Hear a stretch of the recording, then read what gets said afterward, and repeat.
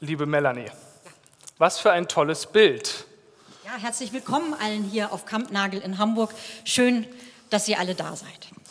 Hamburg ist bereits die 13. Station unserer Tour. Wie hast du den Prozess bisher wahrgenommen? Also ich glaube, dass wir uns das zugetraut haben als Partei, so einen Prozess zu machen, mit Natur, äh, mit 23 Veranstaltungen, verschiedene Kandidatenteams sozusagen, äh, gemeinsam solidarisch auch durch diesen Prozess zu begleiten, das hat äh, uns als Partei extrem gestärkt. Und ich glaube, das macht auch Mut für die Zukunft, die noch vor uns liegt jetzt. Auch die Hamburger SPD befindet sich meines Wissens wenige Monate vor einer wichtigen Wahl.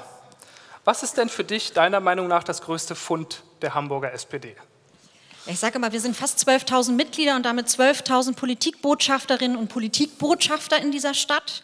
Uns geht es darum, Hamburg zur Metropole der Zukunft für alle zu machen und ähm, dabei die ganze Stadt im Blick zu behalten, und zwar in allen ihren Interessen.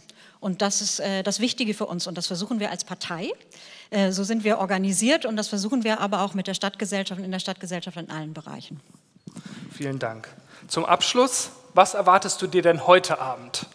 Ich erwarte mir eine spannende inhaltliche Debatte.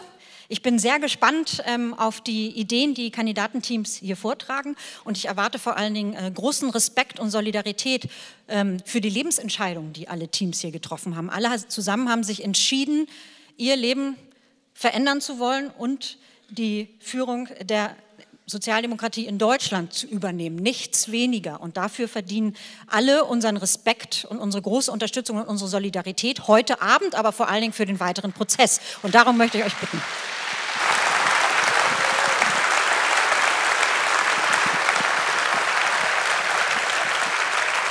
Vielen Dank, Melanie.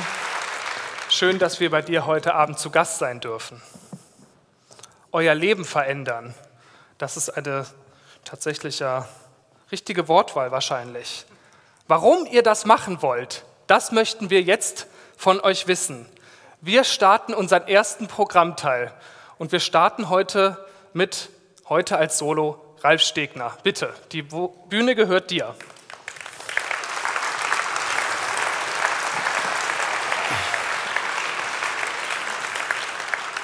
Liebe Genossinnen und Genossen, ich komme aus der Nachbarschaft in Hamburg nach Hamburg aus Schleswig-Holstein und äh, ich bin heute alleine hier. Ich muss Gesine entschuldigen, die aus familiären Gründen nicht da sein kann. Das ist schade für mich, aber vor allen Dingen schade für euch. Vom Naturell sind wir ein bisschen verschieden, aber wir haben vieles gemeinsam. Die SPD führen zu wollen, ist eine tolle Aufgabe, ist eine tolle Partei, die immer für Freiheit, Gerechtigkeit, Solidarität, für Frieden und für Demokratie gestanden hat und die viel Besseres verdient hat als die Umfrageergebnisse, die wir haben, als die Wahlergebnisse, als die Art, wie wir auftreten und als die Art, wie wir behandelt werden von anderen. Gesine würde jetzt sagen, was wir brauchen, ist eine geistige Veränderung in die Richtung, dass wir unseren Kompass wiederfinden, den Maßstab für sozialdemokratisches Handeln, dass Gerechtigkeit uns lenkt in den Dingen, die wir tun. Und das heißt zum Beispiel, dass wir ein Programm haben müssen, ein Profil als linke Volkspartei. Wir müssen die Partei der guten Arbeit bleiben, auch in der digitalen Zukunft. Dass Arbeit tarifgebunden ist, dass man davon leben kann, dass man eine ordentliche Rente kriegt mit der Arbeit, mit starken Gewerkschaften an der Seite. Das ist unser Job, mit dafür zu sorgen dass wir einen starken Sozialstaat haben, wo die Rente reicht, wo die Lebensrisiken nicht privatisiert werden, wo wir eine Kindergrundsicherung haben, um die Kinderarmut zu bekämpfen, wo es gebührenfreie Bildung gibt, wo wir die wichtigen Dinge nicht privaten Renditeinteressen überlassen, sondern uns als Staat darum kümmern, dass es in kommunaler Verantwortung für das Allgemeinwohl gemacht wird wo wir für Verteilungsgerechtigkeit sorgen. Ja, die mit den höchsten Einkommen, Vermögen müssen mehr bezahlen, Einkommenssteuer, Einkommenssteuer und auch eine Vermögenssteuer. Was scheuen wir uns eigentlich, das zu machen, liebe Genossinnen und Genossen? Das sollten wir tun. Und ich füge hinzu, die schwarzen Nullen sollen wir ruhig anderen Parteien überlassen. Wir müssen in die Zukunft investieren äh, für die jüngere Generation. Und wir sind die Partei, die dafür sorgen muss, dass der sozial-ökologische Umbau stattfindet weil wir nur einen Planeten haben und unsere Kinder und Enkel das verdienen, dass sie auch in Wohlstand und Frieden leben können. Aber wir sind die, die dafür sorgen, dass das nicht die kleinen Leute bezahlen, sondern die, die sich leisten können. Das darf kein Privilegiertenprojekt sein, der sozial-ökologische Umbau. Wir müssen das machen. Wir sind das Original in dieser Frage. Und wir müssen diejenigen sein, die für mehr Demokratie in allen Bereichen der Gesellschaft sorgen, von der Kommune bis zur Bundesebene. Und Wir sind diejenigen, die die Friedensbewegung anführen müssen. In Europa dafür sorgen, dass den Nationalisten die Stirn geboten wird, dass ein gemeinsam handelndes soziales Europa da ist, dass wir nicht zulassen, dass Nuklearwaffen in Europa stationiert werden, dass wir mit gutem Beispiel vorangehen, dass wir zum Beispiel dass wir zum Beispiel aufhören, Waffen zu exportieren in Kriegsgebiete und Diktaturen. Das könnten wir nämlich tun, um was zu verändern. Und aus unserer Geschichte wissen wir sehr genau, wir müssen die allerersten sein, in der ersten Reihe stehen, um die Demokratiefeinde wieder zu vertreiben. Wir dürfen nicht eher ruhen, bis die wieder raus sind aus den Parlamenten, die rechten Bagaluten, liebe Genossinnen und Genossen. Wir haben in Deutschland kein Problem mit der Vielfalt, wir haben ein Problem mit der Einfalt. Die muss bekämpft werden, Genossinnen und Genossen. Das ist unser Problem. Und all das geht mit klarer Sprache und mit Selbstbewusstsein. Viele reduzieren mich ja auf meine Heiterkeit, aber ich habe auch noch andere Seiten. Ich komme von der Küste, da lernt man Standfestigkeit.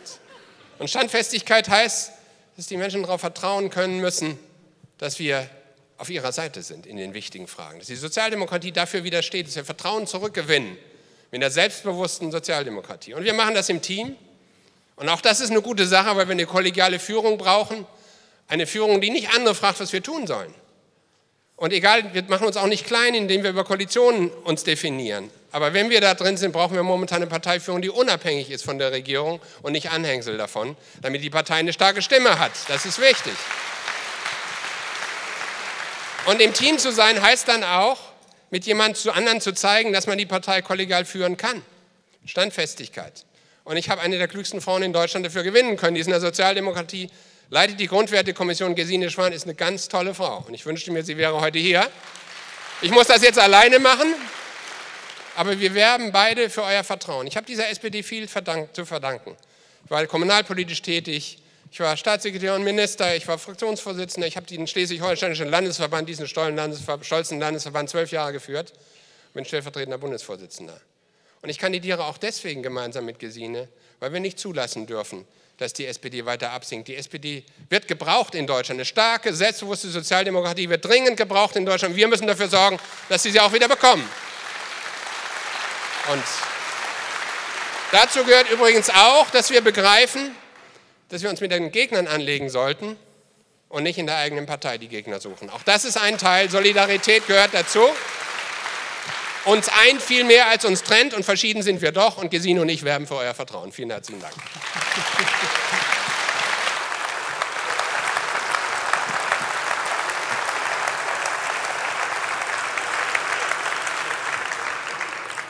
Das war eine Punktlandung von Ralf. Vielen Dank. Begrüßt nun mit mir heute unser zweites Team, Clara Geiwitz und Olaf Scholz.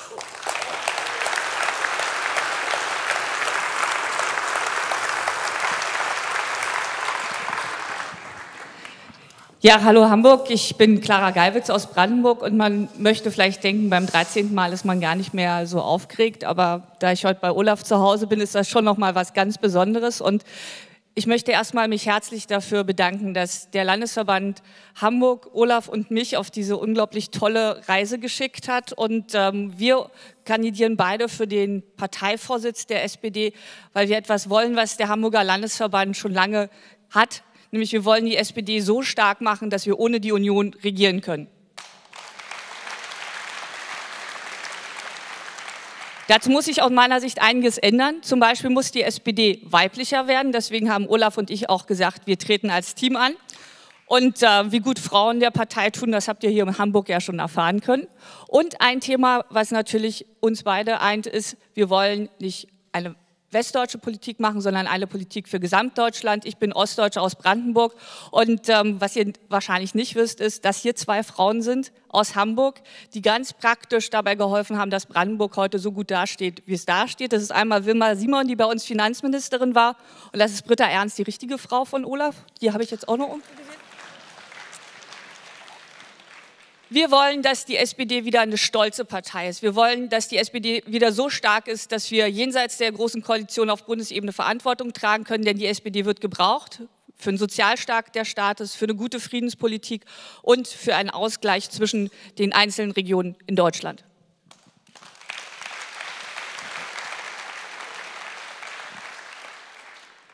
Moin, moin.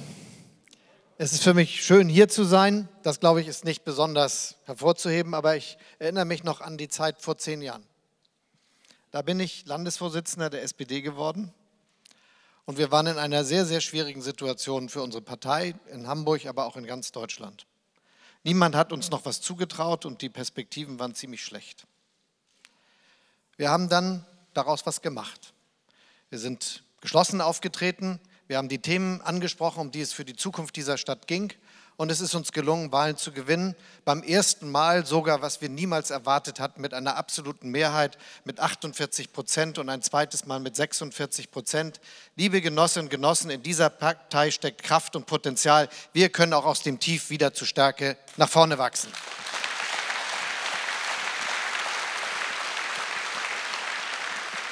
Und wir haben über die Dinge gesprochen, die für die Menschen wichtig sind. Zum Beispiel über Wohnungsbau. Vor zehn Jahren war die feste Meinung aller Experten, es gibt kein Wohnungsproblem. Die Regierung aus CDU und Grünen war davon sogar sehr überzeugt.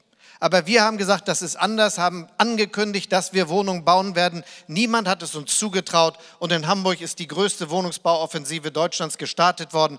Wir haben sozialen Wohnungsbau wieder auf den Weg gebracht, als noch keiner das Wort wieder buchstabieren konnte. Das war richtig, liebe Genossinnen und Genossen. Wir haben dafür gesorgt, dass die Krippen und Kitas ausgebaut werden und dass sie gebührenfrei sind. Wir haben dafür gesorgt, dass man auf jeder Schule Abitur machen kann und dass es überall Ganztagsangebote gibt. Wir haben die Universitäten erst wieder gebührenfrei gemacht. Und wir haben wieder angefangen mit dem Bau von Schnellbahnen, von U-Bahn- und S-Bahn-Stationen und den Ausbau auf den Weg gebracht. Alles Dinge, die niemand in Deutschland wirklich richtig fand. Aber ganz klassische, erfolgreiche, fortschrittliche, progressive sozialdemokratische Politik, wie wir sie benötigen, liebe Genossinnen und Genossen.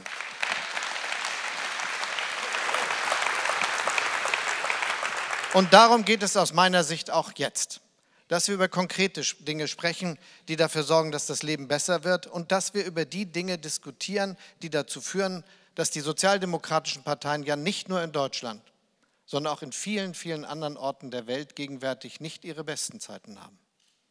Wenn man in die Niederlande guckt, nach Norwegen, nach Schweden, nach Dänemark, nach Finnland, nach Österreich, dann ist das Ergebnis so, dass sie nicht die Stärke haben der 70er und 80er Jahre. Ja, die Sozialdemokraten regieren wieder in Dänemark und in Schweden und in Finnland, da übrigens mit 17 Prozent. Und sie haben auch eine gewisse Stärke in Österreich, aber es ist überall das Gleiche wie hier und es gibt dafür eine Ursache. Die Ursache ist, dass die Menschen unsicher sind, wie das 21. Jahrhundert wird, gerade in unseren Gesellschaften. Und deshalb muss es eine Botschaft geben, die wir als Sozialdemokraten aussenden. Auch in der Zukunft ist die Solidarität das Einzige, was ein Leben gut und erträglich macht. Auch in der Zukunft brauchen wir einen guten, stabilen Sozialstaat, der uns durch die unsicheren Zeiten der Zukunft führen kann. Das ist der beste Schutz gegen die Trumps, gegen den Brexit und gegen rechte Populisten in Deutschland. Wir müssen die SPD dafür wieder stark machen, liebe Genossinnen und Genossen.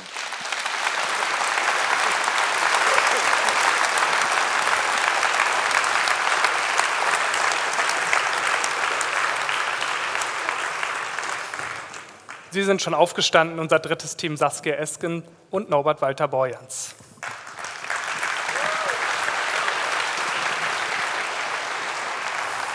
Liebe Melanie, liebe Hamburg SPD, ich bin seit 30 Jahren Mitglied der SPD und meine Eltern waren Menschen, die Sozialdemokratie gelebt haben. Die haben mir beigebracht, die haben mir vorgelebt, dass man sich kümmert, dass man zusammenhält, wenn Menschen in Not sind, dass man aber auch die Strukturen hinterfragt und dass man die bekämpft.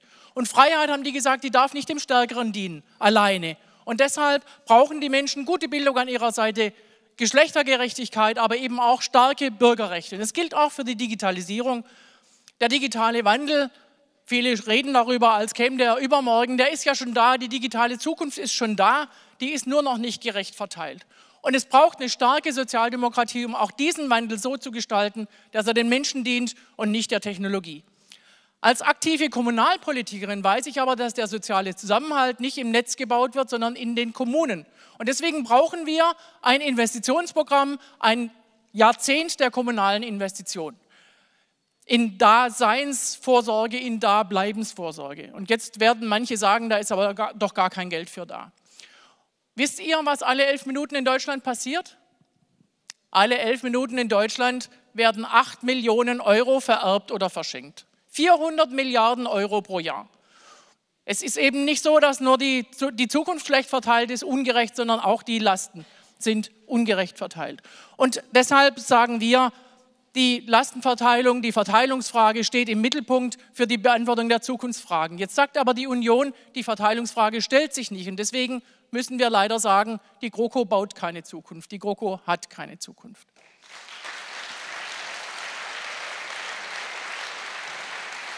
Jetzt wählt die, die SPD wählt eine Doppelspitze und das macht mich ganz froh, denn ich habe damit Gelegenheit, einem Mann an meiner Seite eine Chance zu geben. Das ist Norbert Walter Bojans. Novabo, wie seine Freunde ihn nennen. Und Novabo hat mit dem Aufkauf dieser Steuer-CDs, von denen ihr sicher gehört habt, 7,2 Milliarden hinterzogene Steuern wieder zurück ins Staatssäckel geholt. Er hat gegen alle Widerstände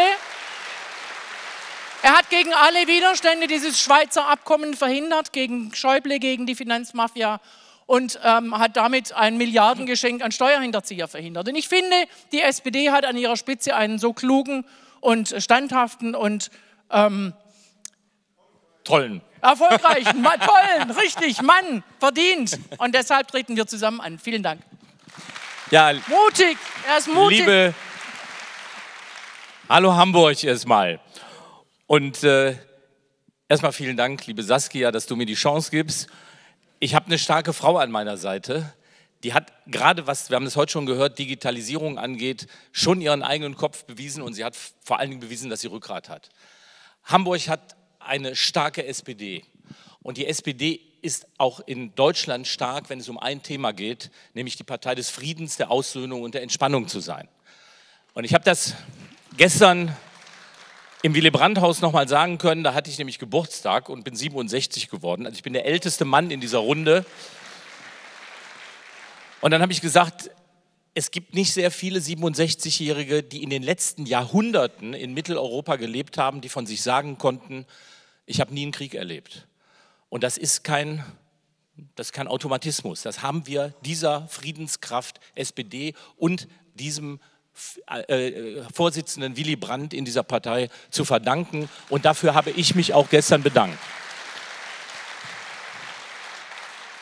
Aber umso mehr bekümmert mich, dass der große Reisebus SPD oder Linienbus SPD, bei dem vorne drauf steht, wir fahren Richtung soziale Gerechtigkeit und Sicherheit im Wandel, kaum noch Fahrgäste hat weil die Menschen gesagt haben, irgendwas stimmt mit euch nicht mehr. Wir glauben euch nicht, dass das stimmt, was da vorne drauf steht.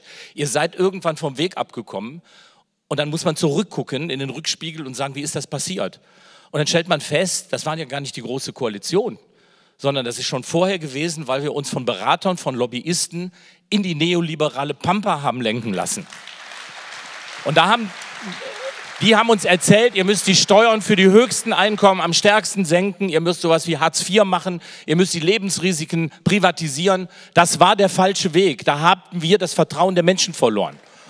Und diese Menschen, und was wir jetzt brauchen, ist nicht Sachverstand in dieser Partei, nicht mehr Sachverstand. Den haben wir auf allen Ebenen. Hier in Hamburg, auf den kommunalen, auf Landes-, auf Bundesebene. Was wir brauchen, das sind neue Fahrer in dem Bus, die deutlich machen, da wo schon die nächsten Lobbyisten wieder stehen, die uns sagen, Klimaschutz, Rente, Wohnungsbau, am besten alles über den Markt machen. Das machen wir nicht. Wir wollen einen handlungsfähigen Staat, der das Geld hat und der nicht an der schwarzen Null scheitert, sondern seine Aufgaben wahrnehmen kann für eine solidarische und eine sozialdemokratische Politik. Vielen Dank.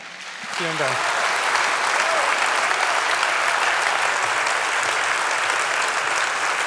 Vielen Dank euch beiden. Und unser viertes Team heute Petra Köpping und Boris Pistorius. Bitte sehr.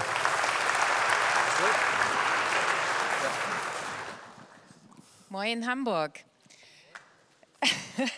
Ich bin Petra Köpping und das ist Boris Pistorius. Boris Pistorius kommt aus Niedersachsen und ich komme, wie man vielleicht ein wenig hört, aus Sachsen. Wir beide sind also auch ein klassisches Ost-West-Team. Und Ost-West bedeutet, wir sind beide Minister in unseren Bundesländern. Boris als Innenminister, ich als Ministerin für Gleichstellung und Integration. Ich war viele Jahre in Sachsen Bürgermeisterin und Landrätin. Boris war in Osnabrück Bürgermeister. Das heißt, wir kommen aus der kommunalen Ebene. Und übrigens, um Sachsen so ein bisschen vorzustellen, für die, die das nicht wissen, ich war Landrätin in Sachsen und in den letzten 30 Jahren die einzige Landrätin für die SPD. Liebe Genossinnen, liebe Genossen, wir haben heute davon gesprochen, dass wir keine westdeutsche Politik wollen, sondern eine gesamtdeutsche Politik. Ist bereits angesprochen worden und ich erkläre oder versuche zu sagen, warum. Ostdeutschland hat am 1. September Landtagswahlen. Landtagswahlen, bei denen teilweise in Städten die AfD bis zu 40 Prozent Stimmen geholt hat. Gleichzeitig stehen unsere Genossen in Ostdeutschland auf der Straße. Pegida ist ein Begriff geworden in Deutschland. Und wenn man weiß, wie in Leipzig als 5000 Legida-Anhänger auf die Straße gegangen, 35.000 Menschen auf die Straße gegangen sind und gesagt haben, das wollen wir bei uns nicht. Wir wollen Demokratie, wir wollen Freiheit, wir wollen Gleichheit für unsere Bevölkerung. Das ist eben auch Sachsen. Und deswegen Deswegen bin ich sehr stolz auf unsere Sozialdemokraten in Sachsen, auch wenn wir bei der letzten Landtagswahl nur 7,7 Prozent geholt haben. Und das meine ich mit gesamtdeutscher Politik. Ich möchte, dass die Sozialdemokratie in ganz Deutschland wieder stark wird und dass wir nicht einen Teil von Deutschland an, äh, in der Sozialdemokratie verlieren. Deswegen stehe ich hier und habe mich für dieses Amt beworben.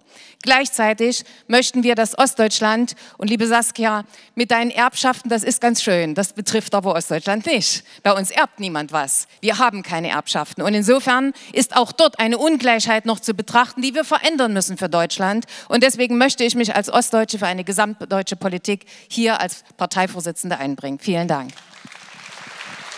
Ja, vielen Dank, liebe Petra. Sie hat es gerade angesprochen, die Bedrohung der Demokratie durch Rechte, Rechtsextremen, durch Nationalisten. Und ich war gestern in Oldenburg bei einer Veranstaltung, die ich durchgeführt habe für Kommunalpolitiker und Mandatsträger, die bedroht und beleidigt werden, die bedrängt werden und tätlich angegriffen werden von Rechtsextremisten, von rechten Hetzern im Netz und auf der Straße. Und ich sage euch, die Demokratie stirbt von unten, wenn wir dagegen nicht energisch einschreiten, weil dann nämlich Kommunalpolitikerinnen und Kommunalpolitiker aufgeben. Und wenn sie aufgeben, fehlt uns in der Demokratie die Basis, auf der alles in dieser Demokratie beruht, liebe Genossinnen und liebe Genossen. Und deswegen müssen wir nicht nur diskutieren, wir müssen klar Stellung beziehen, selbstverständlich, aber wir müssen auch mit allen Mitteln des wehrhaften demokratischen Rechtsstaats gegen diese rechten Hetzer vorgehen und ihnen sie in die Schranken weisen, liebe Genossinnen und liebe Genossen. Und wenn ich sage, dass wir das tun müssen, dann heißt das, wir müssen auch ein wachsames Auge auf Europa haben. Denn wir als Sozialdemokraten, als starke Sozialdemokraten werden wir nicht nur in Deutschland gebraucht, sondern auch in Europa.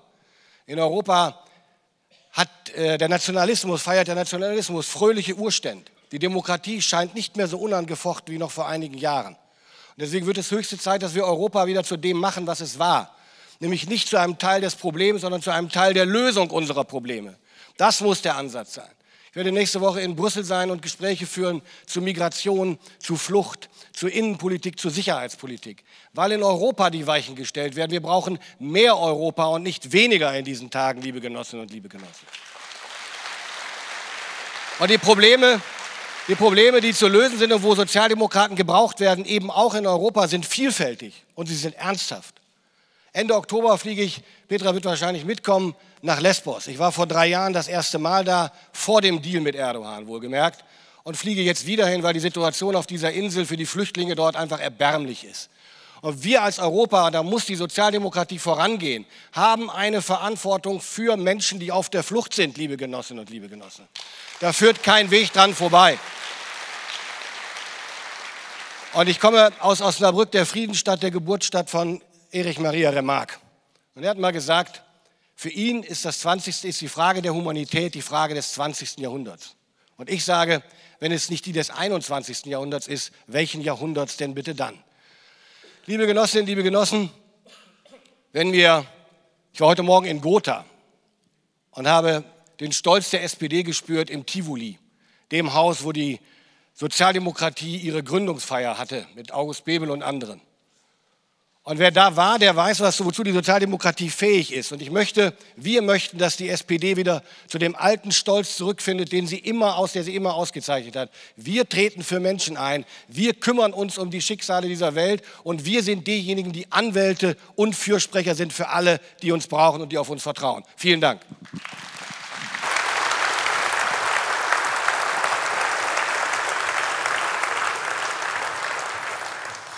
Heute unser Team Nummer 5. Herzlich willkommen Nina Scher und Karl Lauterbach.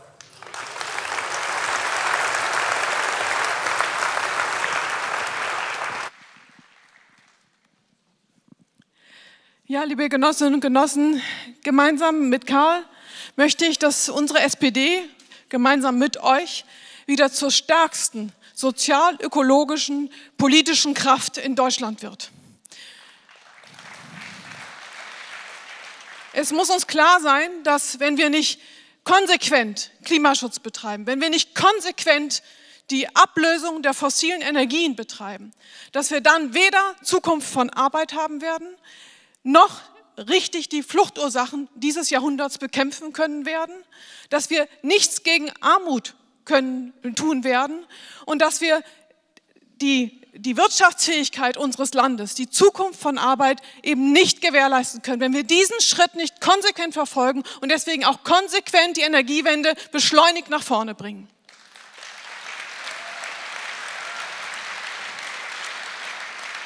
Und da wird ja manchmal gesagt, äh, auch in unseren eigenen Reihen, wir sollen nicht grüner als die Grünen sein.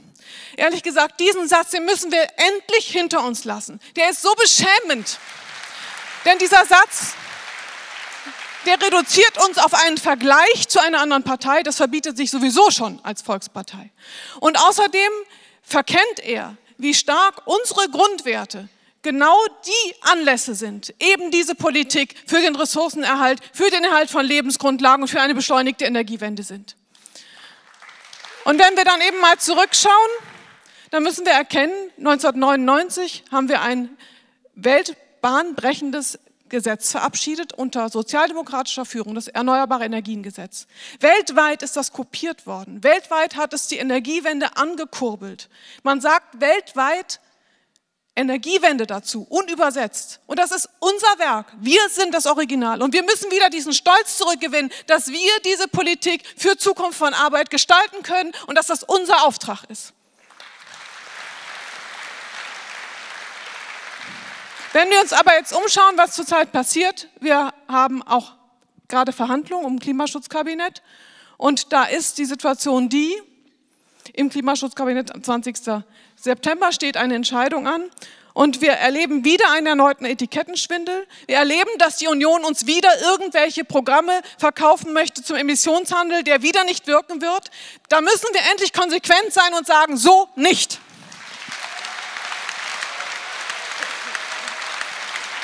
Liebe, liebe Genossinnen und Genossen, zunächst einmal, ich bin dankbar und stolz, diese Kampagne mit Nina Scheer gemeinsam machen zu können. Wir kennen uns gut, ich schätze sie. Sie ist keine Klopferin leerer Sprüche. Sie ist unsere führende Energie- und Umweltpolitikerin in der Fraktion. Und dieses Thema ist von allergrößter Bedeutung. Und zwar deshalb, weil nur noch zwei Prozent der Befragten derzeit glauben, dass die SPD in dieser Frage die besten Konzepte hat. 98 Prozent sind der Meinung, wir sind es nicht. Und wenn wir das nicht ändern, gegen uns protestieren unsere eigenen Kinder auf der Straße. Wir sind am Freitag vor der größten Demonstration, die es in Deutschland seit Jahrzehnten gegeben hat. Wenn wir dies nicht glaubwürdig ändern, dann verlieren wir die Wähler einer ganzen Generation, die uns niemals mehr wählen werden. Das dürfen wir nicht zulassen.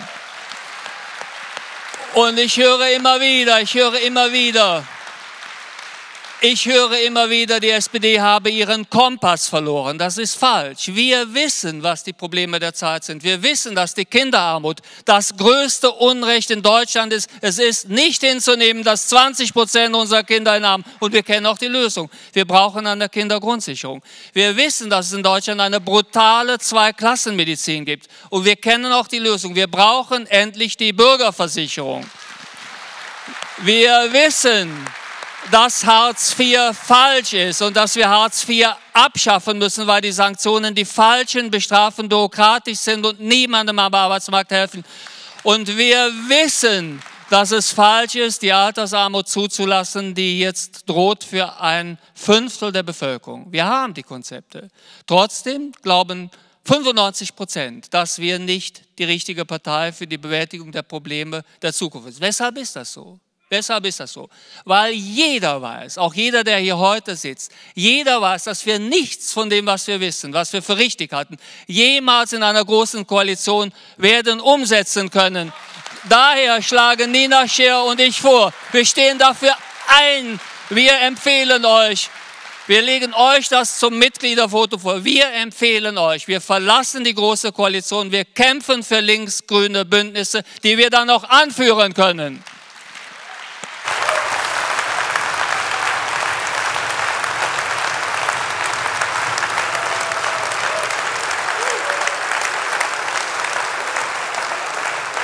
Vielen Dank, Nina und Karl. Begrüßt mit mir Christina Kampmann und Michael Roth.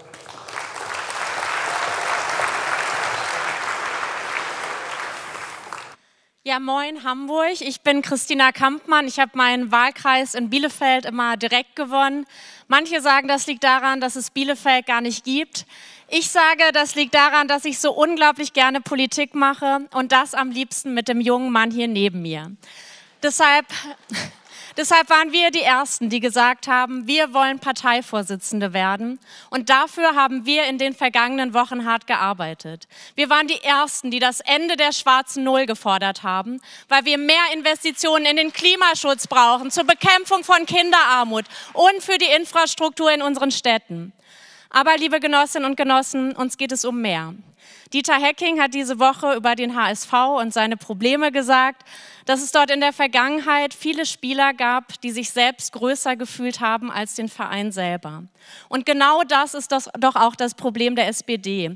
Wir haben etliche Ex-Vorsitzende, die immer wieder alles besser wissen. Wir haben Genossinnen und Genossen, die im Netz kräftig aus, austeilen. Und wir möchten, dass wir wieder fairer, freundlicher und respektvoller miteinander umgehen. Denn, liebe Genossinnen und Genossen, der Feind, der steht ja nicht in den eigenen Reihen. Der Feind, der steht ganz rechts außen. Das sind die Nazis von der AfD, die die Pressefreiheit und die Menschenrechte mit Füßen treten.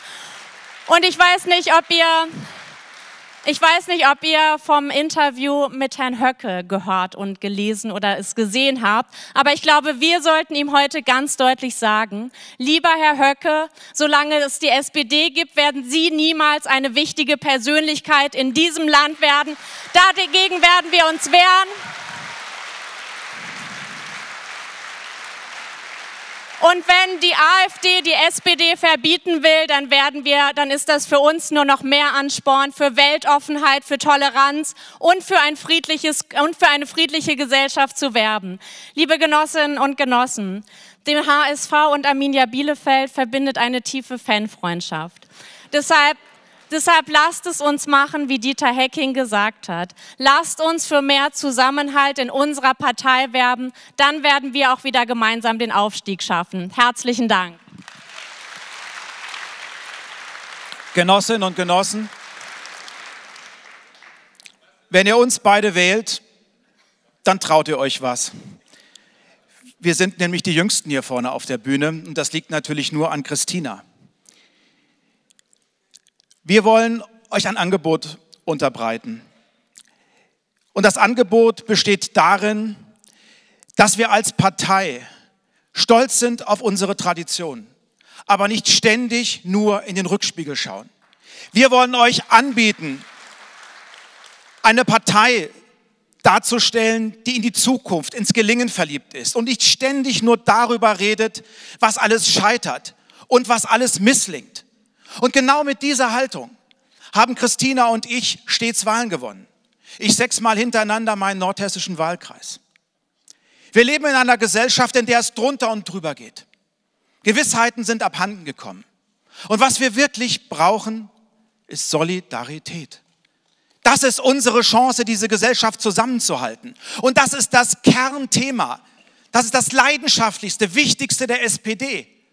Aber wir werden so lange nicht mehr als Partei der Solidarität wahrgenommen, solange wir nicht solidarisch miteinander umgehen, Anstand leben, respektvoll miteinander umgehen und zusammenhalten. Das ist das Wichtigste für uns als Sozialdemokratinnen und Sozialdemokraten.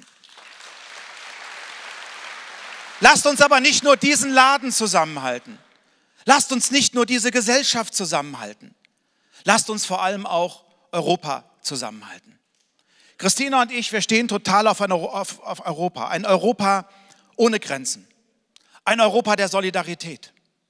Aber wir leben in brandgefährlichen Zeiten. Die Demokratie steht unter Druck. Das Autoritäre wächst weltweit, in Europa, aber auch bei uns zu Hause. Und es ist gut, dass wir uns darüber empören.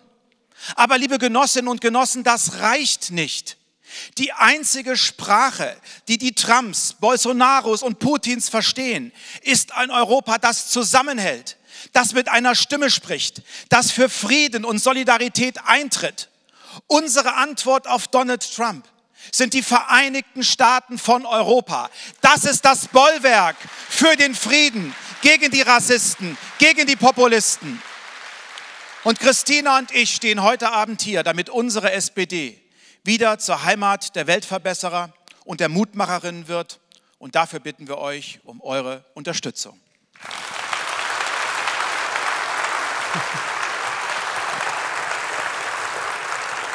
Vielen Dank, Michael und Christina. Last but not least heute Abend Hilde Mattheis und Dirk Hirschel.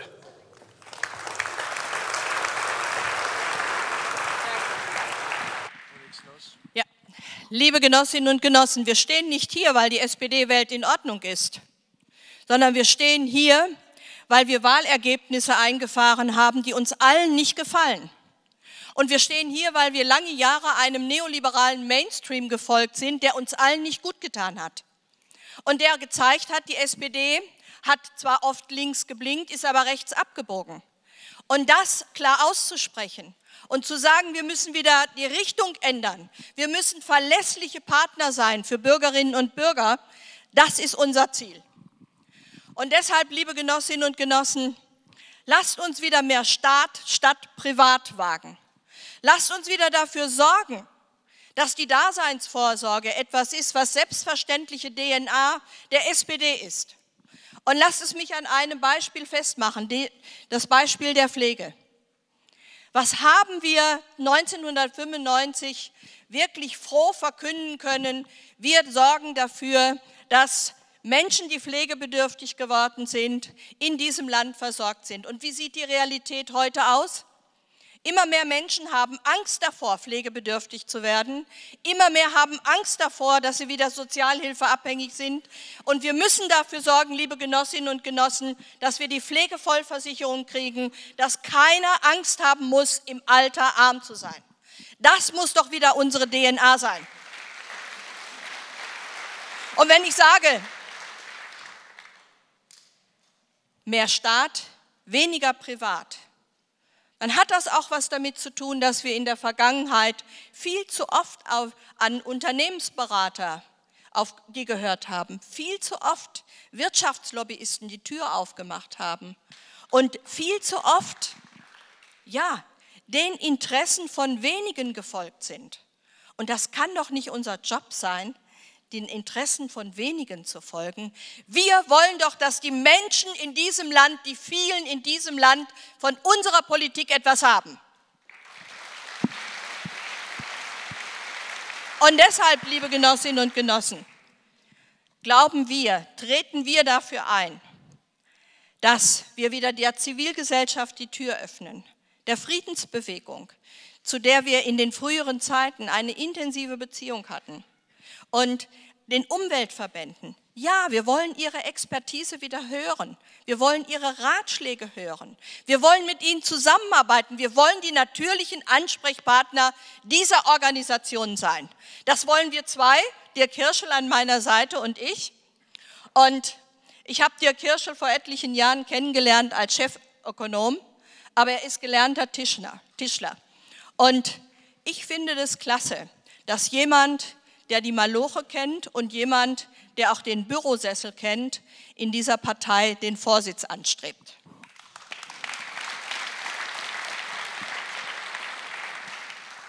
Liebe Genossinnen und Genossen, ich kenne die Hilde jetzt seit 20 Jahren und ich habe sie immer geschätzt, weil sie einen klaren politischen Kompass hat. Ja, die weiß, dass sie für Gerechtigkeit steht, dass sie für Freiheit steht, dass sie für Solidarität steht und hat so immer konsequent abgestimmt im Bundestag. Das hat mich immer überzeugt und deswegen musste ich nicht lange zögern, als sie mich gefragt hat, ob ich bereit bin, mit ihr gemeinsam für die Spitze dieser Partei zu kandidieren. Ich selbst bin seit 30 Jahren Sozialdemokrat und Gewerkschaftler.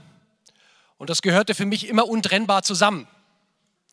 Wir haben uns ja vor 150 Jahren gegründet, damit die arbeitenden Menschen in diesem Land wieder in Würde leben können. Das haben wir lange Zeit gut gemacht. Wir haben den Sozialstaat aufgebaut, wir haben die Demokratie geschaffen, wir haben Arbeitnehmerrechte gestärkt. Aber dann sind wir leider vom Weg abgekommen. Ihr wisst das. Wir haben in den 2000er Jahren Politik gegen Gewerkschaften und gegen Arbeitnehmerinnen und Arbeitnehmer gemacht. Und das darf nie wieder, liebe Genossinnen und Genossen, das darf nie wieder passieren.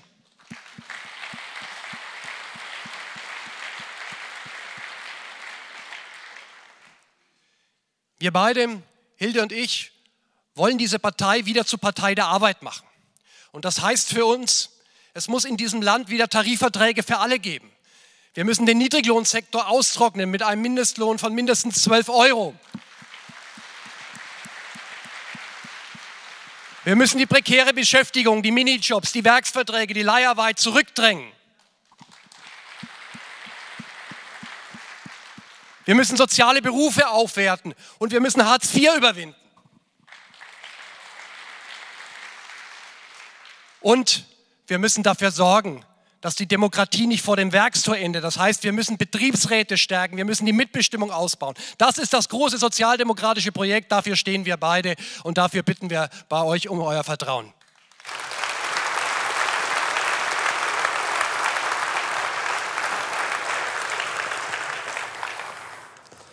Vielen Dank, Dirk und Hilde. Ja, was für ein toller erster Teil. Vielleicht haben sich einige von euch schon ein Bild machen können, wen sie vielleicht präferieren bei der Wahl zum Parteivorsitz.